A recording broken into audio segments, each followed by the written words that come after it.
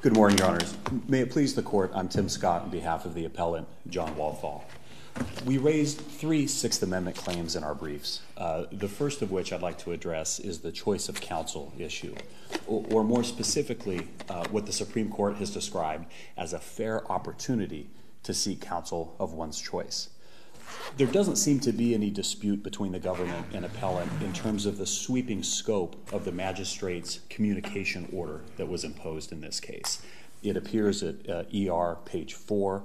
And what happened to that order? I mean, he made that order, but then it seemed as though everyone violated it and it kind of got lost. It didn't really get appealed.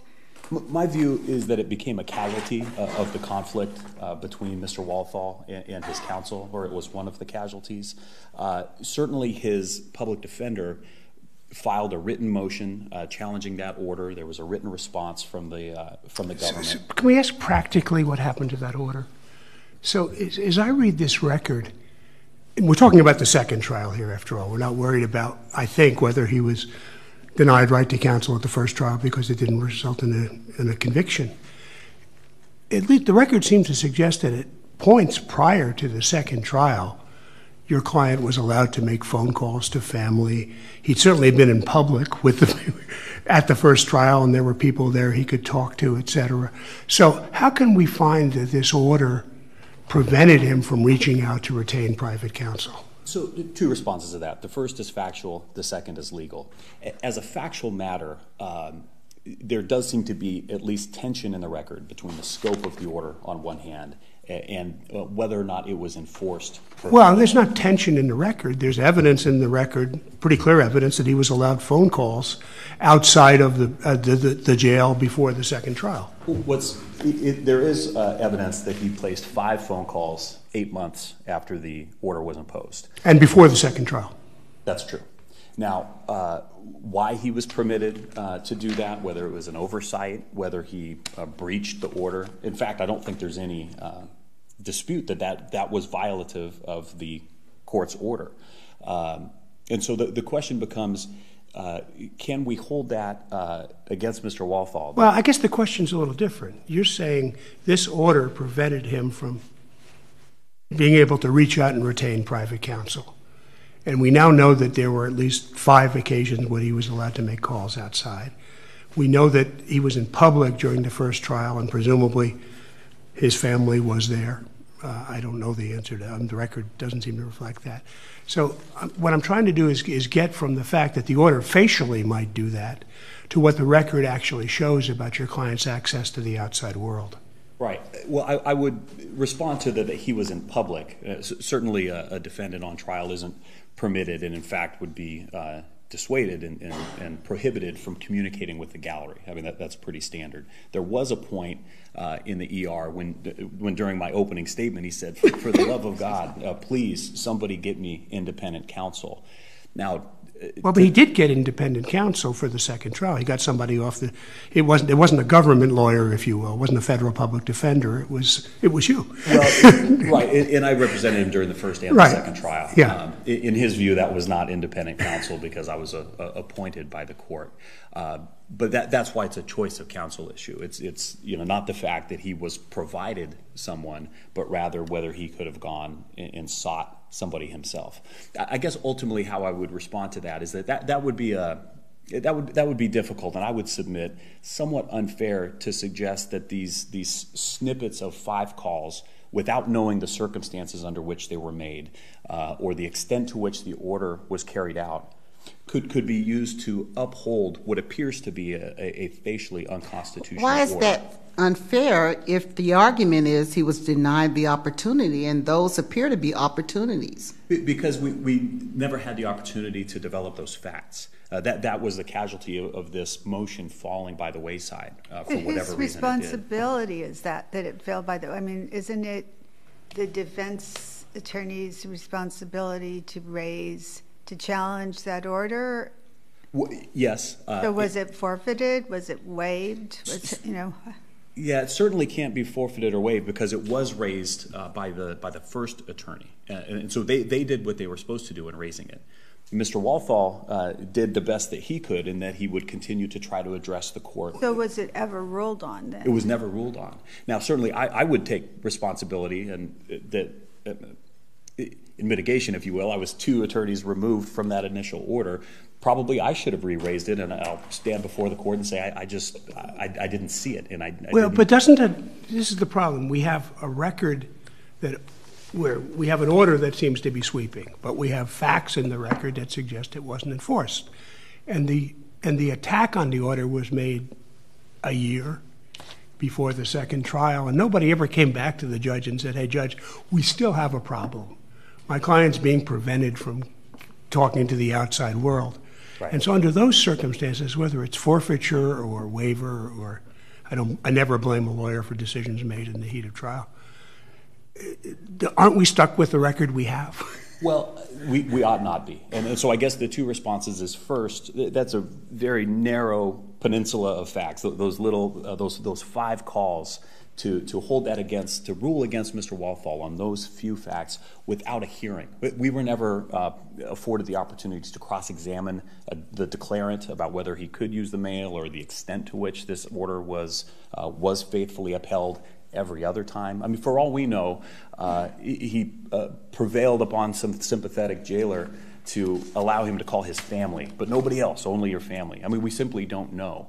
And but the second part, whether forfeiture or waiver, certainly when Mr. Walthall um, is uh, has no communication any longer with his appointed counsel, deeply distrusts his appointed counsel, and his appointed counsel simply uh, didn't know about the initial order or the initial motion, I, I don't think that that certainly not a knowing and voluntary waiver by any stretch. Let me pivot quickly into uh, the Faretta issue. Our, argument is that certainly if Mr. Walthall wasn't permitted the uh, opportunity to go seek counsel of his own choosing, he should have been permitted to represent himself. Now, as an initial matter, the government concedes that this is not an Edwards case. And, and, we would submit they have waived any argument to the contrary. So this isn't a situation where Mr. Walthall was competent to stand trial but too mentally ill to represent himself. Well, is that what the judge found?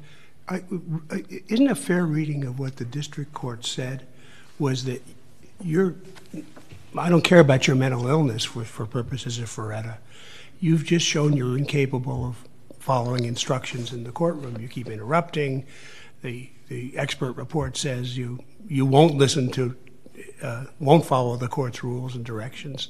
That would be a sufficient basis for denying Faretta representation, wouldn't it? It would, in the abstract, be a sufficient basis to terminate self representation. Well, wouldn't it be a sufficient basis if we're clear in advance that somebody, because he'd been in the courtroom, he'd done all these things, and you have an expert report, it's clear in advance that somebody's just incapable of, of following instructions and rules, would, wouldn't that be a basis for denying it? Legally, I don't think so prospectively. The, the Supreme Court McKaskle case uh, says that the primary focus should be on whether the defendant had a fair chance to present his own defense in his own way.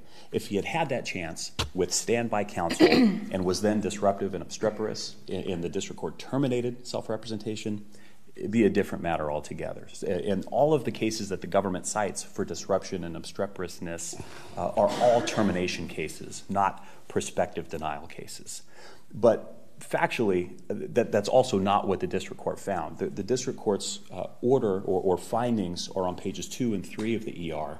And what the district court described are essentially classic dangers and pitfalls of self representation that are no different than any other Faretta inquiry. The district court was concerned that Mr. Walthall would not be able to organize a relevant legal defense. I think it was more than that. It was more that he, he found that he was disruptive and he, you know, he didn't, he didn't um, respond directly to questions. And, and you yourself said earlier he shouted out in court. The, How could he represent himself in those circumstances? Well, the, the only times that he was actually disruptive is, is when he was objecting to his attorney presenting an insanity defense over his objection, which is kind of a whole separate you know, conflict of counsel issue. But, but quite literally, he was removed once prior to the trials uh, because he said, you know, Your Honor, this man doesn't represent me. He said, Mr. Walthall, please be quiet. This is at page 1095 of the ER. And he said, Your Honor, I terminated this man. and, he was removed. And, the impression from the record is that the court was sort of trying to bring him up short and discipline him before the trial to kind of send a message. That was, that was the only time he was removed. He did have outbursts in trial because he was objecting to this attorney being foisted upon him. There is no reason to think that if he was allowed to say his piece, say it his own way, uh, as ineffectual or perhaps even ineffective as it may have been, that he wouldn't have been able to follow protocol. I see that I'm running out of time or have run out of time, so uh, I'll leave it there. Thank you, Your All Honor. thank you, counsel.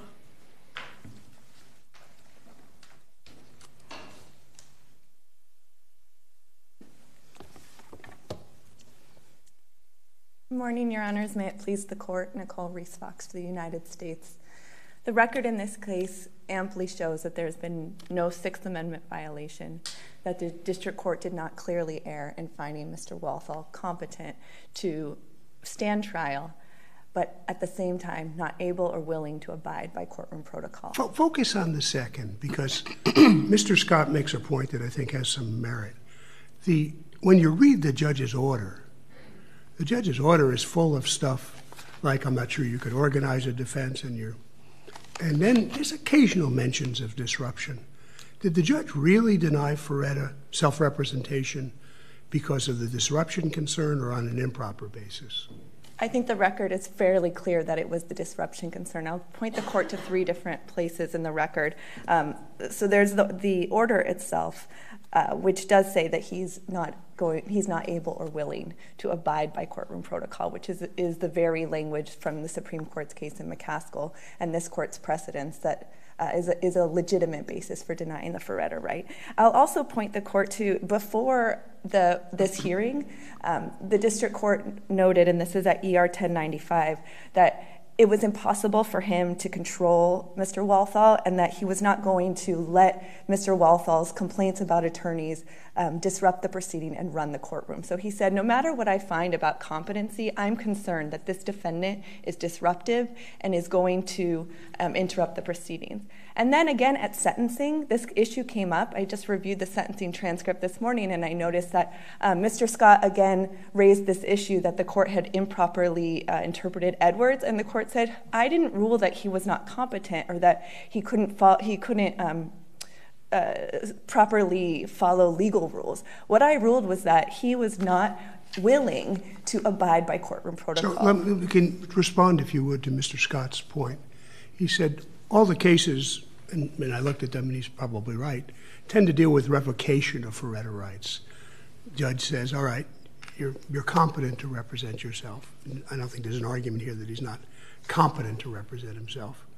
Uh, but you've misbehaved, so I'm, I'm taking away the privilege. Can, do, we have to go through that two-step process? No, Your Honor. I would point the court to Savage versus Estelle, which is a case that interpreted the able of the able and willing test from McKaskle.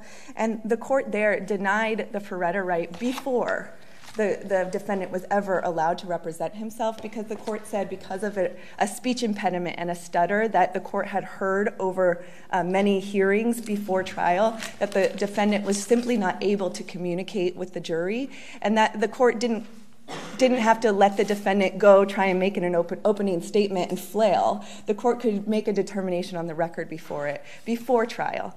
Uh, and this court's cases, uh, for example, in Flewitt, discuss that a court can rely on evidence before trial, evidence of hearings before trial, to see, uh, to determine whether the defendant has the, either the competency or the willingness to abide by courtroom Counsel, protocol. exactly what language in Savage are you relying upon? I'm not relying on the language, I'm relying on the facts of the case. Here's the problem I have with your argument. Um, I haven't seen a case where the court has denied the Faretta rights without first giving the advisements. Can you point me to a case where the right to represent oneself is denied prior to giving the Faretta advisements? I was not able to find a case with that particular set of facts. I think the cases sort of take one of two tracks. But isn't that what happened in this case? That the right to represent himself was denied impliedly without the Faretta advisements? Uh, it wasn't denied impliedly, it was denied explicitly. Where, where in the record did the court expressly address Faretta? Well, the, the court set a Faretta hearing.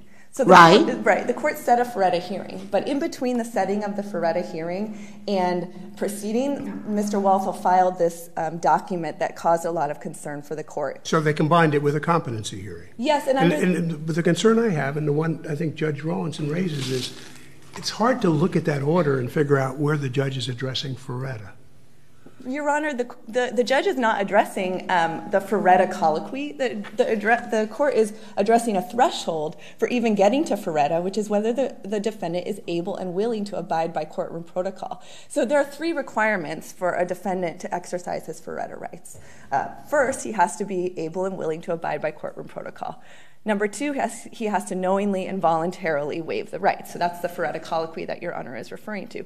And number three, under Edwards, uh, the, he has to be mentally competent to represent himself. So I see those as three different requirements. So, so your, your position is that before the court ha- even has to advise the defendant of his, of the perils of representing himself, the court first makes a determination whether or not the defendant will abide by court rules? I think the order is, is in the discretion of the district court. What case says that? What um, case are you relying upon to say that the court does not have to even give advisements, Faretta advisements, if a determination has been made that the defendant cannot abide by court rules?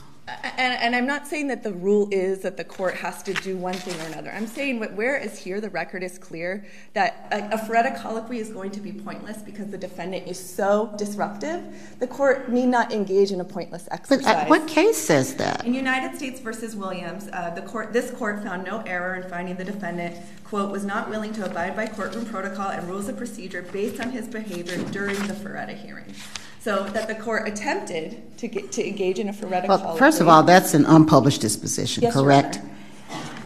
And second of all, the court was in the process of the Faretta hearing. In this case, it doesn't, from the record, it's not clear that the court ever embarked upon the Faretta. The court did not. Absolutely, the court did not. And I, I'm not here to say that the court embarked upon a So Faretta is it your view that that's not necessary because of the, so let's assume, for example, that the judge had found him not competent. He then wouldn't have had to have the Faretta inquiry, right? Exactly. So your view is that because he found him not able, he didn't have to have the Faretta Just as, uh, yes, and just as under Edwards, if the court finds him competent to stand trial but not competent to represent himself, why would we re- why would we require the court to then go into a pointless exercise of a Faretta colloquy? The Faretta colloquy is only necessary if you if the court determines that a defendant is competent to represent himself and is going is able and willing to abide by courtroom protocol. There's certainly the, the usual case that that comes up is is the court goes through the colloquy, the defendant um, appears to have the necessary uh, competency to represent himself, and then becomes disruptive to a point where the court terminates it. But that's not to say that that is the requirement. That's simply the procedural posture that most frequently occurs. The way I see your argument, you're asking us to make a ruling of first impression in this case, because there is not a case that says what you're telling us should be the rule. Again, I would point the court to Savage versus Estelle. Uh, the, the court did not. But I engage ask you in for a the language, colloquy. I ask you for the language in Savage that you're relying upon, and you said there is no language. And not that there's language that I think Savage just assumed that this was a proper procedure. Um, in, in Savage, the court said because this defendant had such a se- severe speech impediment, it wasn't even going to bother with the Faretta colloquy because the, defendant was unable to represent himself, unable to um, communicate with the jury effectively. I'd be happy um, to submit a 28J letter, if, uh, again, reviewing Savage versus Estelle with I have specific the, I have the language for Your Savage case. Yes, I do too. Uh, I, I was just asking you what the language is in there that says the court does not have to embark on the Faretta advisements. And I, I guess you're, um, you're relying on the language of denial. A denial is permissible if an accused does not knowingly and intelligently forego his right to counsel or is not able and willing to abide by rules of procedure and courtroom protocol. Yes, Savage treats those as two separate requirements. And, but I don't see where the court forewent the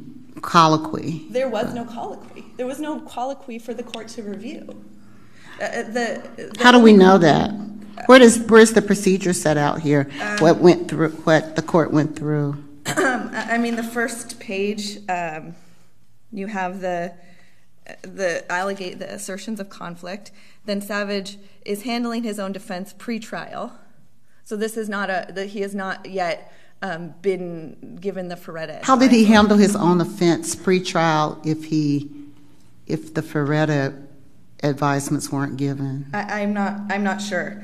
Uh, um, the court certainly uh, doesn't. But ever... if he if they were given, this would be more akin to the termination of rights as opposed to the original declination of rights. I understand. I understand Your Honor's point. Again, I, I just think that the present, the way that, Savage versus Estelle talks about these two prongs is completely independent of each other, and that that makes reasonable sense. Does it make a difference that Savage and Estelle is a habeas case? It does it, Your Honor. Why not? I mean, all that the case stands for is that the, what happened there was not against clearly established federal law.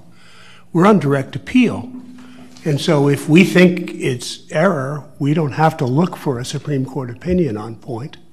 So we have a very different inquiry than, than in Savage and Estelle, don't we? Of course, Your Honor. I, I was simply pointing to the court to the, the language at 1464, subsection uh, B, I guess it's 2B of the opinion, where the courts, this court asked the question Was Savage able and willing to abide by rules of procedure and courtroom protocol? and relies on evidence all pre-trial before he even attempted to, to exercise his Faretta right in front of the jury. I guess. But he must have exercised. Judge Rawlinson's point is one I'm, I'm interested in your response on. He, he must have been exercising his Faretta right before trial because he was representing himself in pretrial proceedings. The Sixth Amendment right to counsel had attached at that point. Yes, Your so Honor. So we've got to read this record as, as saying he had already been given the Faretta colloquy. Yes, Your Honor. I, I, I guess the best I can do is is um, is again state that on this record, where a defendant has been clearly disruptive in many many hearings before the court even gets to this question of competency, the court was was allowed in its discretion to rely on that evidence to say that the, defendant was not able or willing to abide by courtroom protocol, which under the Supreme Court's case law and many, many cases of this court is a legitimate reason for denying the Faretta right. And to then require the court to go through the colloquy, which I think the evidence in the record makes very, very clear that the second the district court would have started that colloquy with Mr. Walthall, he was going to take the, the proceedings a right turn. He did. In fact, at the end of the competency hearing, Mr. Walthall said, Your Honor, I can represent myself. And what happened exactly just after that? We have three pages of Mr. Walthall going on and on and on about how the competency evaluators are government, government operatives, that Mr. Scott is an entrapment agent that's in cahoots with the prosecutors, and that the judge um, in his prior trial, he, he, he goes through this ranting and raving in the very same breath as he's saying, I can represent myself. All right, so, Counsel, you're well, well over your time, but I want you to uh, tell me what do we do with this communications ban? I think Your Honors uh, noted that the, the record is fairly clear that the communications ban was never implemented in full. And so I think that whatever the motion that was filed. But it's still unconstitutional. I mean, if, if it's an unconstitutional order unless there's a very high standard met. But if the order is never implemented, uh, there's. How no, do we know it was never implemented? Uh, because the, the, we, we know that he made a few phone calls months and months later, but how do we know it was never implemented? So just after the order, uh, when the, the district court ordered a hearing on the order, and asked for the views of the Metropolitan Detention Center. And they submitted a declaration, which I've included in our supplemental excerpts of record, which laid out the way that the um, institution had implemented this order, which is to say that they looked at the order and made an independent determination of how to implement the order to um, to abide by the institutional protocol and by BOP regulations. And it Can showed they that do that if the magistrate judge issues an order saying I want a communications ban. How can the BOP just flaunt the order? It's a great question, and that's one that would have been resolved because that's what the, Mr. Walthall's brief said that the judge's order was unconstitutional. The government responded, if that's the case, then the way it's been implemented cures any problem. That was never litigated. We were never given that opportunity. There was an ex parte application contesting. Yes, and, and the court ordered ban. a response and ordered and then the what? um, then it was essentially rendered moot because exactly what Mr. Walthall asked for was granted by the BOP itself. So he, all he asked for, he never said that the Sixth Amendment violation was a violation because he wanted to ob- obtain um, private counsel. What he said is it was a Sixth Amendment violation because the order was limited to certain members of the public defender's office. The, um, throughout this trial, clearly Mr. Walthall was given opportunities to communicate with people other than members of the public defender's office. So that order, um, it was moot because he got exactly what he requested in challenging the order. All right, thank you, counsel. I'll give you a minute for rebuttal since um, government counsel went over.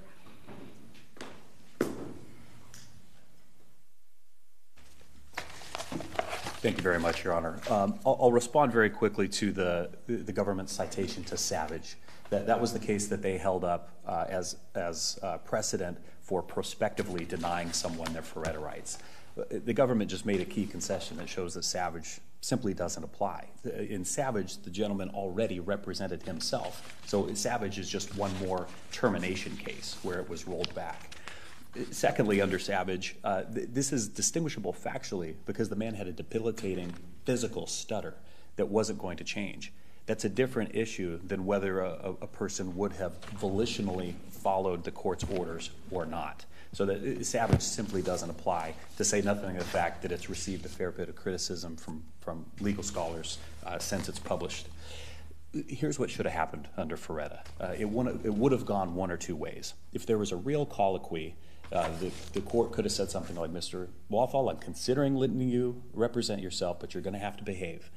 Mr. Walthall either would have uh, demonstrated during that colloquy that he was unable to do that, in which case the court could have denied it and been on much more solid legal footing, or Mr. Walthall could have said, Your Honor, if I can represent myself, I'll be good, I promise.